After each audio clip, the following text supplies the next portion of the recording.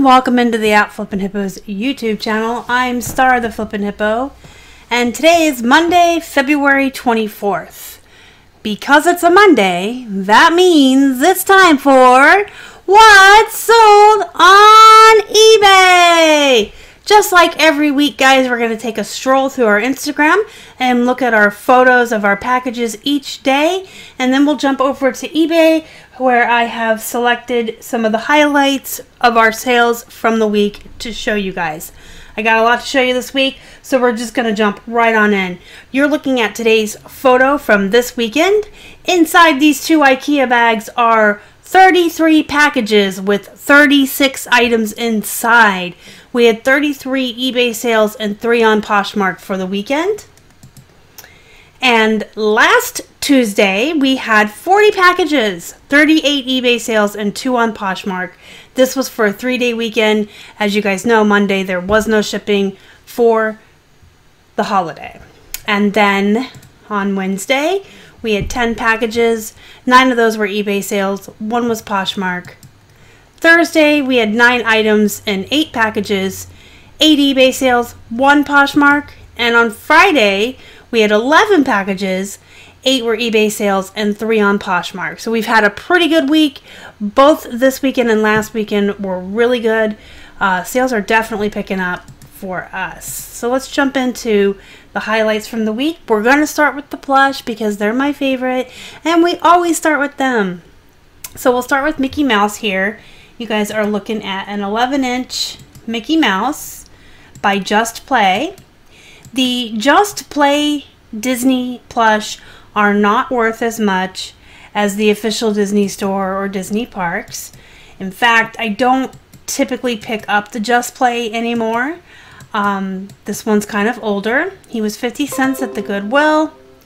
He sold for $10, or sorry, he sold for best offer of $8 and shipped in a polybag first class. Next we have this Ganz Webkinz Black Horse with his sealed code. And these Ganz Webkinz, just like I've, I think I've said this before, um, they're hit or miss. Some of them with the codes are worth um, less than some that don't have codes. It just depends on the animal and the character. When I find them for 50 cents, I pick them up, bring them home. Uh, this one was 50 cents, sold for $10.31 and shipped first class in a poly bag. Next we have this Beanie Boos unicorn. Her name is Wishful. Super cute. She was 50 cents at the Goodwill and she sold for $8.43 and shipped first class in a poly bag.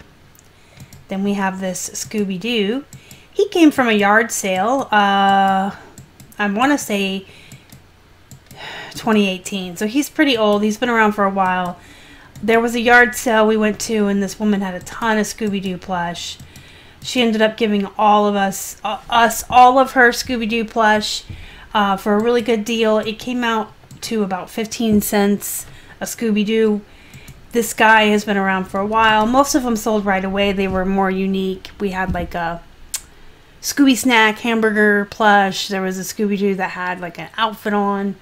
Anyway, this guy sold for $9.99 on a best offer and he shipped in a polybag first class. And now we're going to look at some Smurfs. Both of these Smurfs came from the Goodwill. Each one was 50 cents. This one is Grouchy. And he's got an official Smurfs tag. And this one is the Vanity Smurf. He's got his little mirror. Super cute. And he's also an official Smurfs plush. One buyer bought both Smurfs and spent $31.24 on the two. So approximately 15 $15 a piece. And they shipped first class. I wrapped them up together in some tissue paper and they went in a poly bag and they were still under like eight ounces. So that was a pretty good return on investment for the Smurfs. Now we're looking at an Angry Birds Ice Cube plush. Some of these Angry Birds guys, they are definitely worth picking up and worth some money. This guy, you can see how small he is, barely five inches, four inches, and uh, was 50 cents at the Goodwill. sold for $16.99 and shipped first class. And this is the most exciting plush of the week. This one was just sourced last weekend. This is Minun. He is an official Tomy Pokemon plush. Tomy is one of the Pokemon brands I um, do recommend picking up. It's a Bolo. Tomy, the Pokemon Center, uh, are some good brands for Pokemon. So Minun was 50 cents. He sold for $28.12 overnight after I finally got him up. He uh, was not listed right away. He sat around, sat around for a couple days before he got listed. He sold right away, $28.12, spent 50 cents. So he was a really good flip. And he shipped first class. All right, guys, we're going to get into some of the clothes. This is a Boden women's top. Uh, Boden is a brand that you should be looking for. This this particular Boden top was 100% uh, wool, and I got it for 99 cents at the Goodwill and sold it for a best offer of $15 and it shipped first class.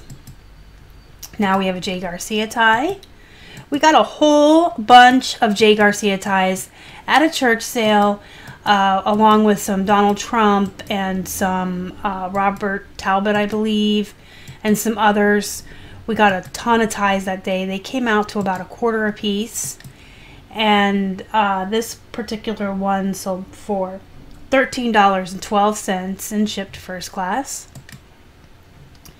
This is a Free Planet shirt. We got this at, I want to say Ross, but it could have been TJ Maxx. Um, we have a Ross, a Marshalls, and a TJ Maxx all together in one shopping center. And a couple times a year, we'll hit all three in one day and just kind of look around see if there's anything. This, when we got this shirt on this trip, we had uh, David and Bill, who you guys might know as Gnome and the Frog. They're one of the moderators here on the channel, and very good friends of mine. They had come out to visit, and we went to all three with them to go sourcing. Um, but I think it came from Marsh, uh, TJ Maxx, but it came from one of those stores, Retail Arbitrage, and we picked it up because it was a good size. It's a 4X, and it was new with tags. We spent, I think it was like two, two or three bucks on it, and it sold for $24.94 and shipped first class. These seven for all mankind jeans came out of a thredUP box, so they averaged out to about a dollar seventy-eight per pair in that box. These are a nice button fly. The 7 for All Mankind Dojo jeans are a huge bolo. They go for a lot more money. The 7 for All Mankind jeans that aren't Dojo, I would still say they're a bolo, but they're not going to be high dollar or a lot of money. They're kind of like better than bread and butter, but not quite a home run. I do pick up Seven for All Mankind when I find them, though, and the uh, the button flies on any brand of jeans. The button flies I always do really well with. I usually add a couple of dollars to the price because um, I feel like the button flies add value. This pair sold on a best offer for $25 and shipped in a padded flat. So, those of you that watched my latest unboxing when I got a thredUP box, uh, about a week ago. Um, I pulled these out and I said in the live the live unboxing video, I said, "Well, I think Angel's typically a poop brand, but these ones are super cute. The style on them with these little front pockets here and the huge bell-bottom flare legs." I said, I'm going to put these in bread and butter just because the style is so cute, even though I don't typically source Angels jeans and I kind of feel like it's a poop brand. So these were about a dollar, dollar eighty, dollar seventy-eight um, for the individual pair when you averaged up the price of the box. They sold overnight. So a pair of jeans that I said, well, maybe they're poop. I'll put them in bread and butter. Uh, by the time I finally got them measured, photographed, and listed in the store, they sold overnight for $24.37. And they did ship in a padded flat. Side note, uh, Megan McWhinney, you guys know, are probably familiar with her. She was a guest on the channel last week. In a video where we talked all about jeans and pricing jeans. Um, Megan's very knowledgeable on jeans. On that live unboxing video, she did comment and said that she likes Angel's jeans and she considers them bread and butter and she does source them. It's kind of funny that I would call them poop. Well, being that these sold overnight for $24.37, I believe I will be now be adding Angel's jeans into my bread and butter repertoire. So I thought that was kind of funny. It could have been a fluke. I could have just listed the right pair of jeans in the right size at the right time when a buyer was looking for them or it could have been the style. But I do feel like if I see Angels jeans for 99 cents when we're outsourcing, I'm going to go ahead and pick them up from now on. All right, so we are going to show you four pairs of capris. Um, these are Chico's capri jeans. They're not the so lifting or so slimming or anything special. They're just capris. And then we have a pair of Indigo Rain Capri Jeans. This is a brand I don't even source anymore, but these were cute. And a pair of Levi's 545 Capris. And another pair of Levi's women's Capri Jeans. The reason I'm showing you all four pairs is because one buyer bought all four pairs of the Capri Jeans. Um, each pair was 99 cents, so we had a total cost of around 4 bucks in for all four pairs. Three of them had free shipping, one of them had $8 shipping, but the overall cost for all of the capris was $42. So the buyer paid $42 in total for four pairs. And we got them into a medium flat rate for 12, I think it was like 12.85 to ship them in the medium flat. Um, if I'm wrong, someone can correct me in the comments because I can't offhand remember exactly how much the medium flat cost. But it was $12 and some change. By weight, because these went all the way to Arizona, by weight, these would have been like 15 16 to ship. So the medium flat rate was the best way to go. Cost wise, because I couldn't get all four in a padded flat. Um, but I do like when sales like this happen. You know, you got like four pairs of so so bread and butter stuff. You know, you got $4 in on them and um, $42 for all four, $12 to ship. So that was a nice flip. And I always love when one buyer buys a lot or, you know, at least multiples. So we had two of those this week. We had the one buyer by the two Smurfs, and then we had the one buyer by the four Capris. All right, guys, now we're looking at some Citizens of Humanity. These also came in the most recent ThredUp box that I just opened a week ago. And the same box as the Angels jeans, so these were about $1.78 a pair. They are also button fly. I love button fly jeans. So these are the Citizens of Humanity um, Emerson Slim boyfriend jeans.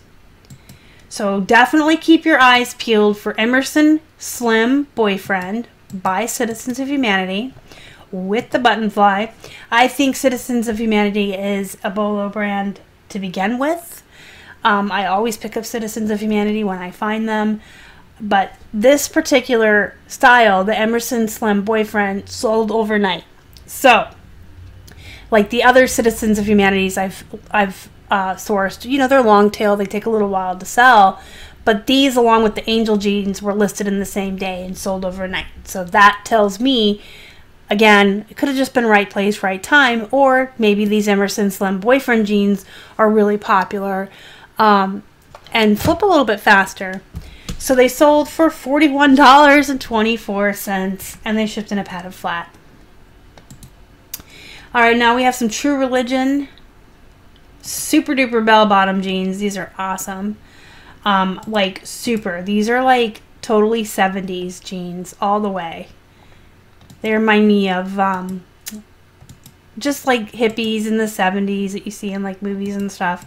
I think they're super cute. I love this style of jean personally. Anyway, these ones I believe we got in Florida for like three or four bucks, I want to say. And they sold for a best offer of $40 and shipped in a padded flat. And we're going to look at some shoes now. These are Soft Styles Hush Puppies. I picked them up at the Goodwill because they were only 99 cents. And they're cute. They had some flaws. I took a best offer of 15 on them and they did ship first class. So I just wrapped them in bubble wrap and tissue paper and put them in a poly and sent them on their way. And now we have some Dockers. These are men's Docker shoes. Pretty nice looking shoes. These came from the Goodwill as well, 99 cents. Picked them up because Dockers is an okay brand. It's pretty run of the mill bread and butter. Um, and they were nice looking. They they looked really good.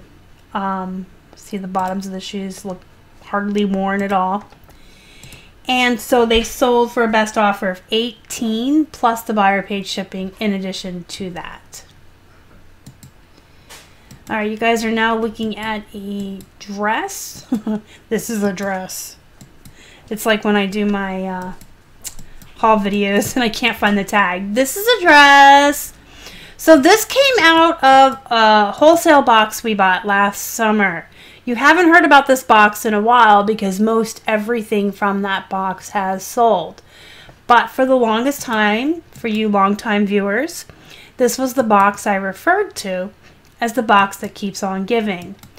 Um, I don't even remember. It was like 60 bucks for the whole box, had a ton of stuff in it. Uh, it has just been pure profit after the first couple of items out of that box. So this is something I'd never heard of. It was in there. It's a Bailey 44. It's an Anthropologie brand. Um, I'm not that familiar with dresses. I don't flip dresses a lot. If I get one in a box like that or I find one at the Goodwill that I know is good, you know, for a good price, I will pick them up and flip them. I'm not opposed to flipping dresses, but I don't go out of my way to source them the way I do jeans and plush.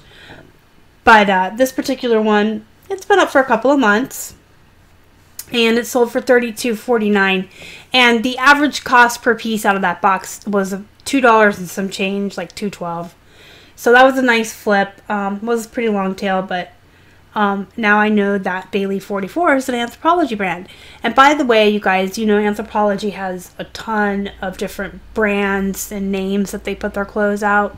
If you check the RN number, it's 66170. So if you ever find a piece of clothing that you're not familiar with and it has the RN number 66170, that is an Anthropologie brand. So definitely grab them when you find them.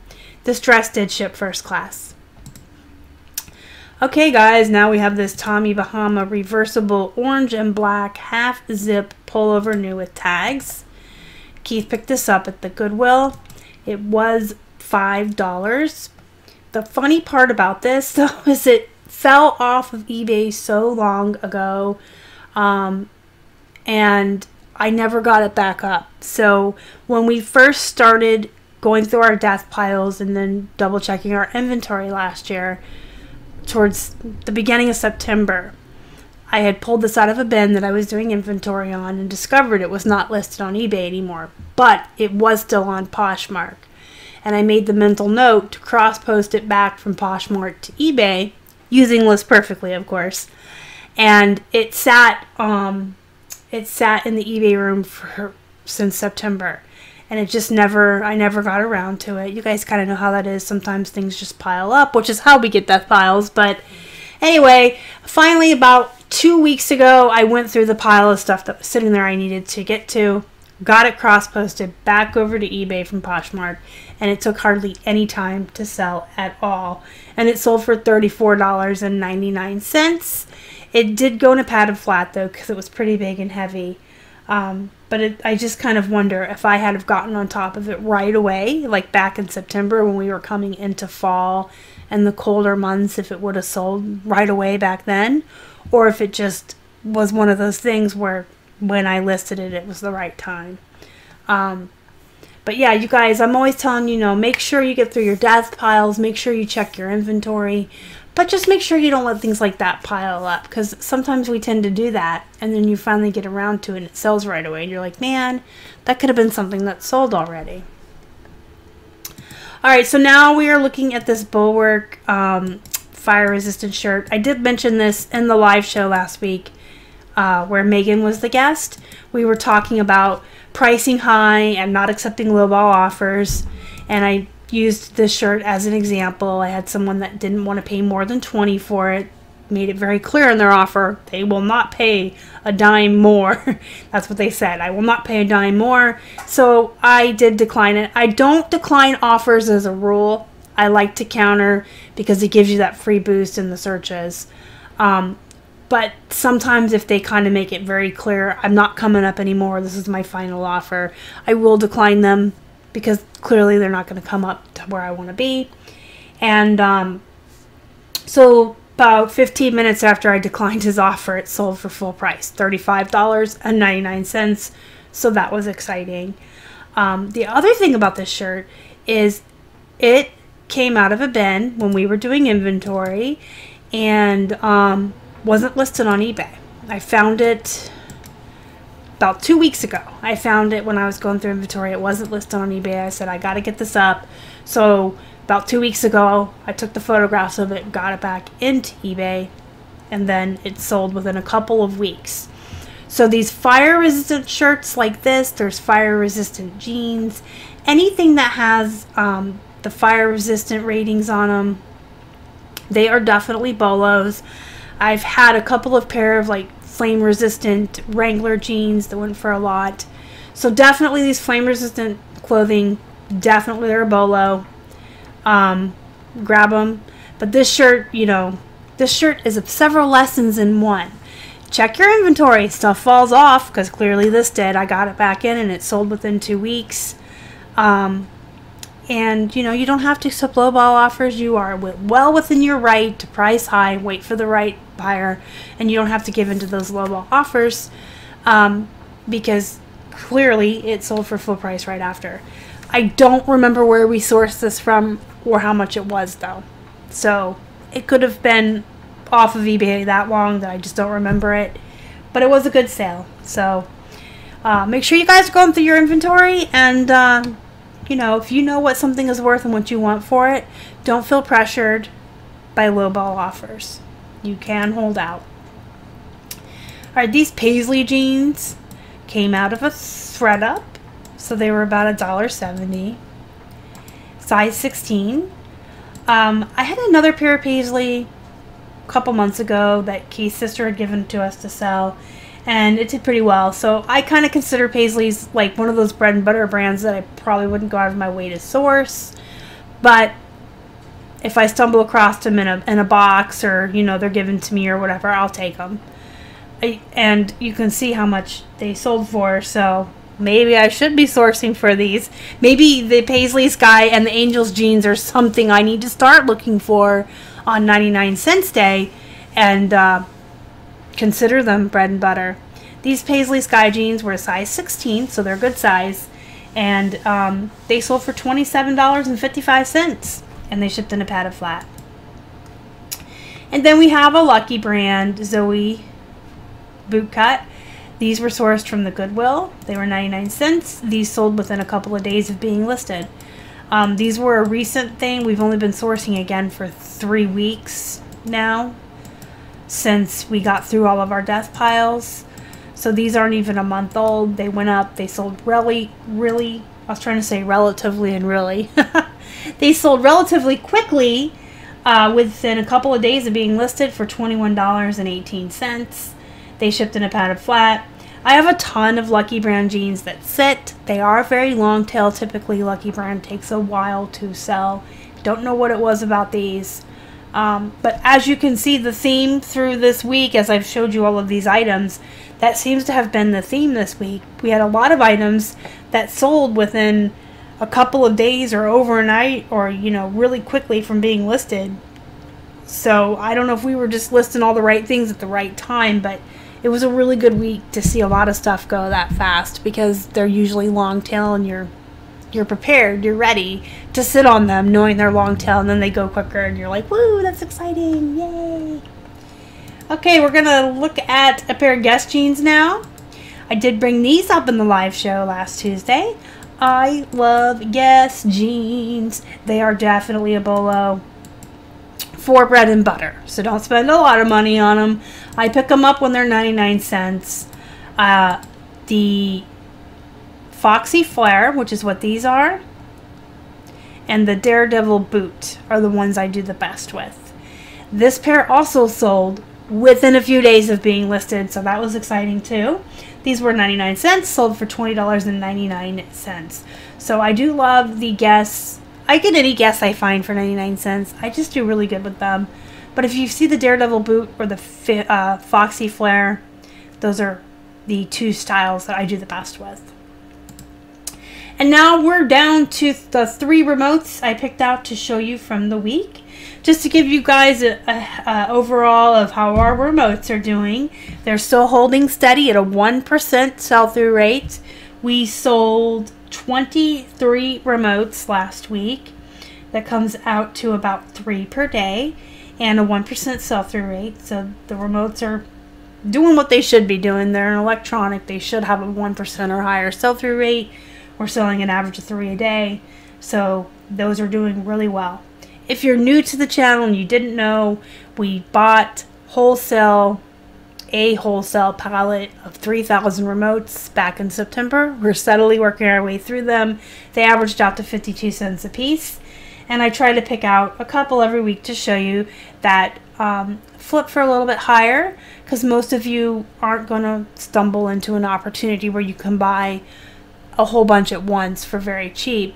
And if you're buying them one or two at a time, you want to be a little more selective and get the higher the higher cost ones um, more bang for your buck when you're you know buying them as one-offs or whatever. So this is a genuine toshiba dvd vcr combo remote.